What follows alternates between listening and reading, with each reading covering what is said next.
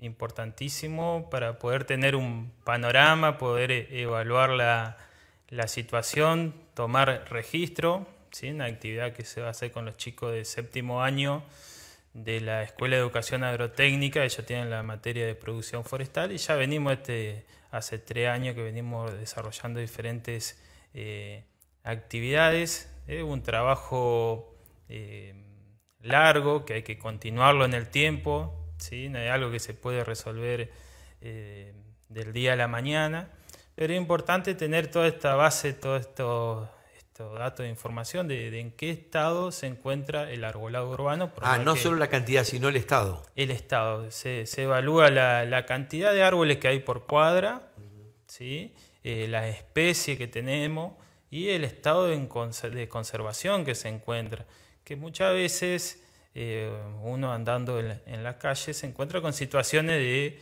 que mm, hay solicitudes, uno ve que el árbol está eh, en malas condiciones y siempre se le atribuye por ahí a que el árbol ya, bueno, ya es viejo, caducó, y en realidad son malas praxis, malos manejos que se le han hecho al árbol, en los cuales los organismos patógenos oportunistas aprovechan esa, la, oportunidad, la herida que se le genera al árbol para infestarlo y bueno, empezamos a tener problemas después de pudrición y, árbol que, que, nos brindan esto que vos decías del verano, del calor, nosotros llamamos servicio ecosistémico.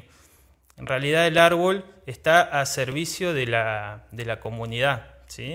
Por eso hay que distinguirlo entre lo que es arbolado urbano, qué diferencia hay entre árboles frutales, por ejemplo, una huerta, que el objetivo es dar fruta, eh, los montes forestales que, vemos que pasan los trenes con los troncos de, Bueno, esos son montes, o sea, cultivos que se hicieron para la producción de madera, que está bueno porque estamos eh, consumiendo madera de, árboles que se plantaron con ese fin y estamos protegiendo los montes nativos, ¿sí? Por ese lado. Y bueno, eh, el arbolado urbano se denomina el conjunto de árboles que forman el bosque eh, en las ciudades y las la funciones de ese, ese conjunto de árboles justamente protegernos, hacer que la, vida en la ciudad sea un poco más fácil. Ahora, ese conjunto de árboles, partiendo del que tenemos eh, implantado frente a nuestras casas, mucha gente lo cuida como si fuese propio, como un integrante de la familia, pero mucha gente lo maltrata. Y hay un límite este, muy, muy delgado de cuál es la responsabilidad del dueño de casa, del frentista respecto de ese árbol. Es así, a ver, como bien decía, hay muchísima gente que, por suerte los, cuida el árbol, eh, a veces hemos ido a hacer algunos trabajos y mm, nos quieren por ahí que les toquemos algunas ramas, que son por ahí es necesario eh, hacer algún tipo de poda, siempre con algún objetivo, una poda razonable, no por ahí lo que vemos que es una poda indiscriminada en el cual se eliminan sin ningún tipo de criterio todas las ramas de, del árbol. Eh, es importante destacar que hay, una ordenanza del año 2014, la 399, que habla del, arbolado urbano y em, a ver, el vecino tiene que entender que desde la vereda a la calle es un espacio público ¿sí? por más que él haya plantado el arbolito en su momento, tenemos árboles de muchos años eh, y los árboles nuevos que se van plantando, y como todo frentista tiene también su, su responsabilidad en cuidar el patrimonio que en este caso es para el bien de toda la, la comunidad. Pero, no puede, pero el vecino por sí solo no puede intervenir en ese árbol.